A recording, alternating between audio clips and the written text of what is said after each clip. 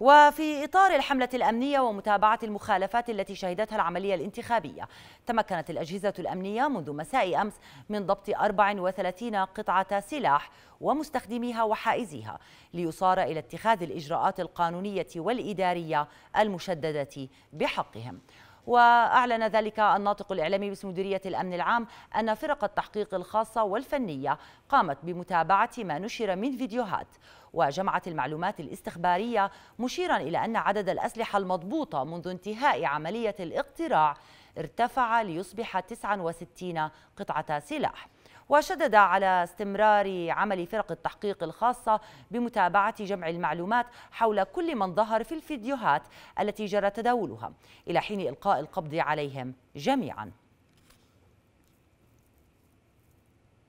وللوقوف على الأوضاع الميدانية ينضم إلينا من جنوب المملكة مراسلنا محمد الكفاوين وتحديدا من محافظة الكرك ومن شمال المملكة مراسلنا ضرار غنام وتحديدا من محافظة إربد. وأبدأ معك ضرار ما الجديد لديك حول عمليات التحقيق والمتابعة والضبط التي تقوم بها آه، فرق مديرية الأمن العام فيما يتعلق بالفيديوهات التي وثقت مخالفات لأوامر الدفاع وللقانون أيضاً؟ يروح خليه يروح يا خليه يروح يا محمد محمد. نعم لنا سجلت في ال 24 ساعة الأخيرة ما يقارب ال 95 حالة خرق لقانون الدفاع وبعضها من الحالات التي ظهرت مساء أمس باحتجاجات من قبل المواطنين الذين آه، لم يحالف الحظ لمرشحيهم في الانتخابات النيابية حيث قامت الأجهزة الأمنية بعدد من المداهمات الأمنية آه، حصلت آه، استطاعت القبض على ما يزيد عن المئة شخص من لواء الرمثة. ولمزيد من التفاصيل حول الأوضاع الأمنية والالتزام في الحظر وقوانين الدفاع ينضم إلينا العقيد فلاح المجالي مدير شرطة محافظة إربد مساء الخير. الله يسعد مساكم. آه، آه، عطوفتك حدثنا بداية عن الخطة الأمنية التي تم وضعها خلال آه، فترة الانتخابات النيابية للمجلس التاسع عشر وما بعد الانتخابات. يا سيدي مساء يوم الاثنين تم نشر عدد كبير من مرتبات مديرية الأمن العام بكافة تشكيلاتها ضمن مدينة إربد. كان هذا الانتشار تنفيذا للخطة الأمنية اللي وضعتها مديرية الأمن العام. وكانت تهدف إلى مراقبة ومتابعة العملية الانتخابية وسيرها آه، من بدايتها من لحظة الاقتراع ولغاية آه، الخروج بنتائج آه، الفرز. بعد ذلك تضمنت هذه الخطة بعد الانتهاء من العملية الانتخابية الانتشار الأمني من أجل مراقبة وضبط مراقبة أوامر أوامر الدفاع ومدى الالتزام بها. حدثنا عن مدى الالتزام في محافظة إربد من قبل المواطنين بقانون الدفاع والحظر الشامل يا سيدي آه، كل الشكر لأهالي آه، إربد للالتزام. الالتزام آه، هناك كان هناك التزام صحيح نسبة كبيرة لكن لكل لكل قاعدة شواذ. هناك بعض المخالفات حيث تم ضبط يعني من صباح هذا اليوم لغاية الساعة السادسة من مساء تم ضبط حوالي 36 شخص وأربع منشآت مخالفة لقانون آه، لأوامر الدفاع وقامت بكسر الحظر. هذول الأشخاص تم ضبطهم ويتم سيتم إجراء تحويلهم إلى المحاكم المختصة وإجراء اتخاذ الإجراء القانوني بحقهم. كان هناك بعض الفيديوهات التي انتشرت على ال social media أو على مواقع التواصل الاجتماعي حول ظهور بعض الأشخاص يقومون بإطلاق العيارات النارية. هل تم ضبط عدد من هؤلاء في محافظة إربد؟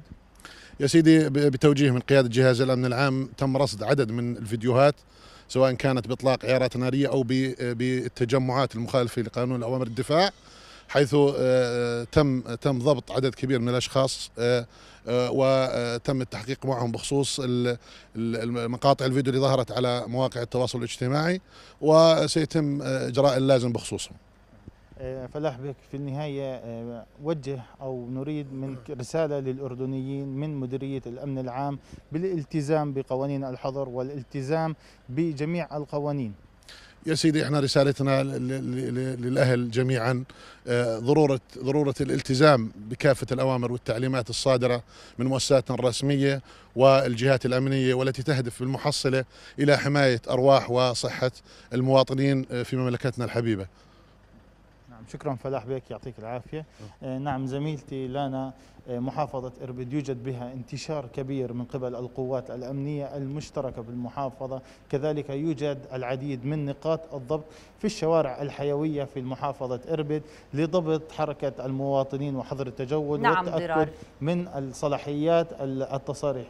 نعم آه، أرجو أن تبقى المعطى. معنا ضرار أريد أن أنتقل عفوا آه، ضرار أريد أن أنتقل إلى محمد الكفاوين مراسلنا في الكرك.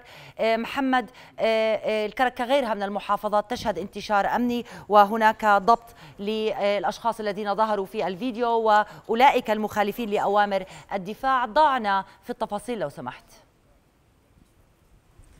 نعم لنا عقب الحملة الأمنية التي أعلن عنها يوم أمس المدير العام لقوات الأمن العام وفور إعلان نتائج الانتخابات. وسعت القوات الأمنية هنا وأعادت قوات الأمن والدرك هنا في محافظة الكرك من توزيع نطاقها وتوزيع انتشارها في عموم مناطق محافظة الكرك نتحدث عن السبع ألوية والثلاث أقضية في عموم مناطق محافظة الكرك وفق خطة الانتشار الثانية. هناك كان خطتي انتشار خطة انتشار ما قبل الاقتراع وخطة انتشار بعد إعلان نتائج الانتخابات.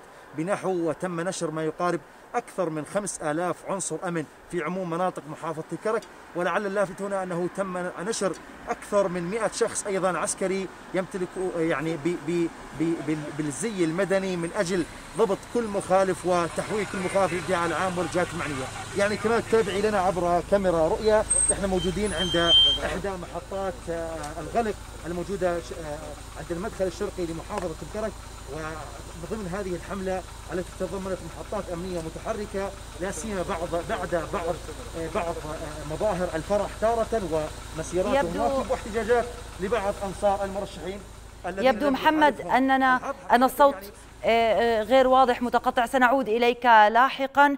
مراسلانا ضرار غنام من محافظة إربد ومحمد الكفاوي من محافظة الكرك. شكرا جزيلا لكما.